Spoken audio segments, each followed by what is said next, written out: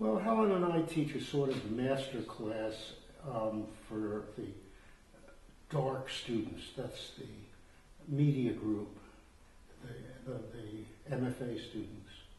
And the dean, Yager, one day of the whole division, made a mad statement. He said, whoever wants to form a center and you can prove it's a good idea, and maybe you get a little money, I'll approve it. So we said, well, how about an institute? Sounds better than a center. Said, institutes are bureaucratically impossible, um, but a center I can make.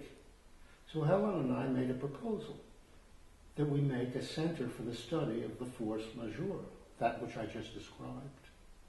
It was approved. We got grants. And we're learning. So, we see it as a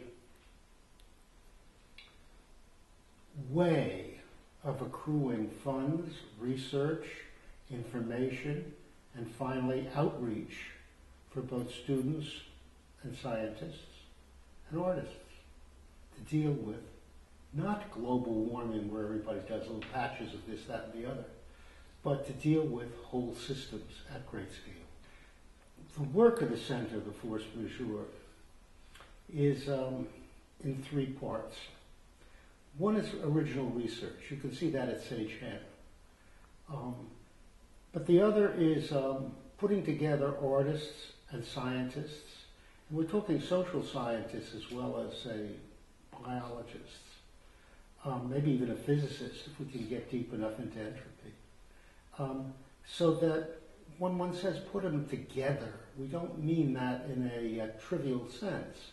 We mean that we gather together to help resolve problems of great magnitude, i.e., what do you do about a heat wave running across the planet at the scale that it exists? And that is our work.